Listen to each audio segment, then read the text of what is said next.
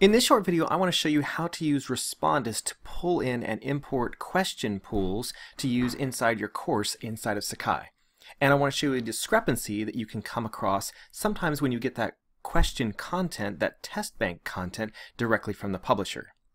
So what I've done here is I have a course that I'm developing and I have got the question banks over here in the test and quizzes area. In fact, I'm working on several of these and the publisher has provided quite a swath of assessment content that I can use inside this course. Of particular note are this set of questions here for this 8.3 entry. I'm going to simply look at this so you can see what the questions look like. And of particular note, I want you to notice that there are 115 questions, and yet even though I pulled this content directly from the provided publisher's um, uh, question banks, they are not exactly complete. So for example, if I look for, um, say, some of these questions have some image content. So I'm going to look for some of the image content here. A lot of times there are figures or uh, tables that are being used in this particular course. And you can see then that that image is there, and that's good.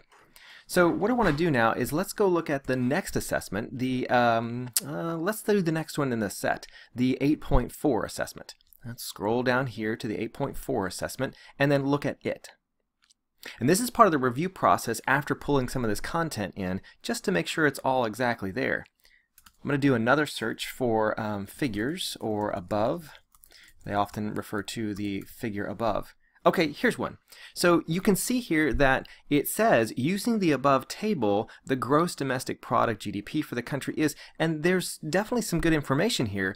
Um, but the problem is students won't be able to refer to what this table is because it's not there. So how do you go about resolving this? Well, one of the ways you could do this is you could go and edit every single one of these questions. So if I scroll up here, you can also see that there's yet another one. There are a hundred and, uh, how many were there? They were like, uh, I don't know, 61 questions. It's quite a lot. It would be horrible to have to go through every single one of these questions just to have to edit the question, go back to the publisher, grab that one particular table that goes with that, that particular question, and make sure it gets inserted correctly. So there's another way you can go about doing this, and thankfully Respondus gives us a way to do so. What I'm going to do is I'm going to simply go back out of the assessments, and before I do that I'm just going to simply copy the title of this assessment here. I'm going to go back to the assessments area, scroll down to the 8.4 entry, and I'm going to remove it. Now once I've removed it, I'm going to go right on over to Respondus.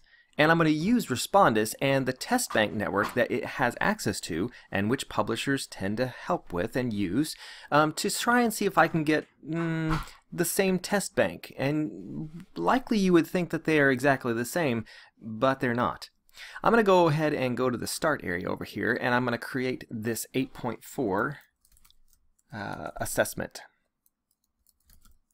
So in Respondus here, I'm using Respondus to simply create um, a way to get at the test bank network and to get at it um, so that I can actually have those 8.4 assessment questions along with the images. Now, understand if you want access to the test bank network, then you're going to have to go through and know the ISBN number of the text that you're using for the publisher that you're using, and then make a request using the Respondus official form on the Respondus website. Typically, Respondus gets back to you pretty quickly about whether or not you can be granted access or not, and they'll send you a couple of codes that you can then enter into the Respondus software and be able to get access to the test bank that you need. In this case, I've already done all that, and I'm going to simply create a new file for this particular test bank so that I can pull it into the course site. I'm going to click OK here. And because I already have access to the test bank, I'm going to select Test Bank Network over here on the left. When I do, I get another window that comes up that allows me to select not only from the text, but from the specific test bank that comes from that text. In this case, I need the 8.4 entry. Respondus makes this pretty nice and pretty slick in this case because for this particular course I only want the mm, multiple choice questions for the assessment and so I can use the question selection automatic to select just the multiple choice questions entering 60 for the total number of multiple choice questions available in this assessment. I'll go ahead and select insert them into the list. And once Respondus goes through and inserts them, I just simply have a copy of all 60 of those questions that some of them have images and some of them don't. There we go. And I'll hit close in the top. And now you can see, uh, it's a little harder to see, but here toward the bottom, uh, those assessments have been inserted. And now all I need to do is simply finish up the process and import them back into the course site. To do so, I'm going to go to the Publish and Preview area, and I need to designate these points as decimal numbers, and then save it.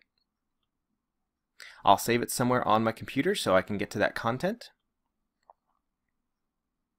And now let's go back to the course and pull that content in. So now I'm back to the course and I'm going to select the import option here. And I'm going to choose the export from Respondus as the file kind or type and then choose the file.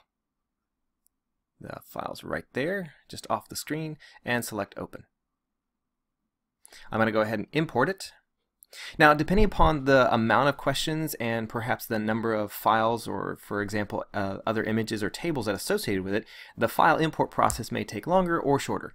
Um, this is also somewhat dependent upon the internet connection that you might have uh, as to whether or not you're on a slower speed connection or if you're on a faster speed connection. And there we go. Uh, so here you can see that the assessment's been added with the same title that I gave it before. Well, I don't really want that title, but we'll handle that here in a second. What I'm really curious about is, did that image content come in for those particular questions that while the publisher provided the test banks didn't really come? So let me go ahead and select the action here and we're going to hit edit. And we're going to inspect the same assessment for to see if those assessment uh, questions have the actual tables and other information in them. So let's search for above. And they do. So here you can see question 36. Using the above table, the gross domestic product, GDP for the country is, and now there's reference to that table above. So when students take the assessment, they'll actually be able to, well, refer to the table above. And likewise for any of the images or the questions below, you can see that those are now included. So the only thing that's left to do is to go through and simply make sure that I've titled this assessment right. Um, I don't really want it to be titled 8.4, so in this particular case I'll go to the select action and select settings, and then I'll change the title of that assessment in the title area since I copied and pasted it earlier. I'll save it. And now that assessment appears with the others in the sequence it should, 8.4 with the image content that I needed to show. I'll move on to the next assessments and make sure that I use the uh, Respondus data to try and make sure I pull in that image content as needed.